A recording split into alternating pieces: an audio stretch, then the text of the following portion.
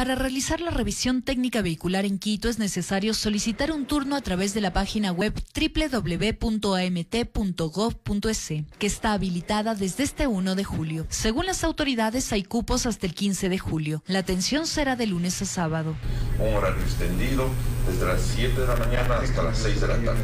La AMT, a través de un comunicado oficial, señaló que al momento el sitio web www.amt.gov.es mantiene intermitencia en su operatividad y en el desarrollo de los servicios en línea. En el texto también se menciona, trabajaremos para habilitar lo más pronto posible los servicios de forma permanente. La calendarización se retoma. En julio deberán asistir las placas terminadas en 1 y 2, agosto 3 y 4, septiembre 5 y 6, octubre 7 y 8 y noviembre 9 y 0. Como es usual, diciembre será para las personas rezagadas. El Cabildo señaló que los centros de revisión se abrirán de forma progresiva. En esta semana solo se atenderá en el Centro Vicente están habilitadas para todo tipo de transporte, motocicletas comercial, buses pesados, etcétera, ¿no?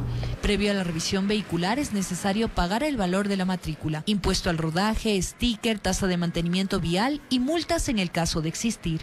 Las multas únicamente se generan cuando le tenía que tocar en tal mes y no acudió en ese mes. Únicamente ahí hay multas. Eso hay que tener claro. No hay multas para aquellas placas 1, 2, 3, 4, 5.